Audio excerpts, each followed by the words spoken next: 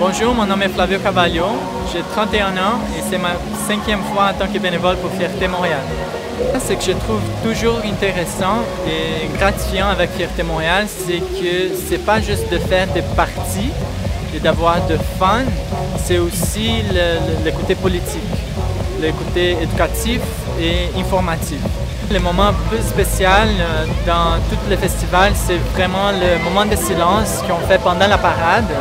Et pour moi, c'est aussi un moment pour penser à tout le monde dans le reste du monde qui n'ont pas la même chance que nous ici au Canada. Alors je vous invite à venir au Parc des Faubourgs jusqu'au 18 août pour célébrer avec Fierté Montréal la fierté gay. Sinon, j'espère vous voir dans la parade le 18 août sur René Lévesque. Happy Pride, bonne fierté, bonne fête d'orgueil gay.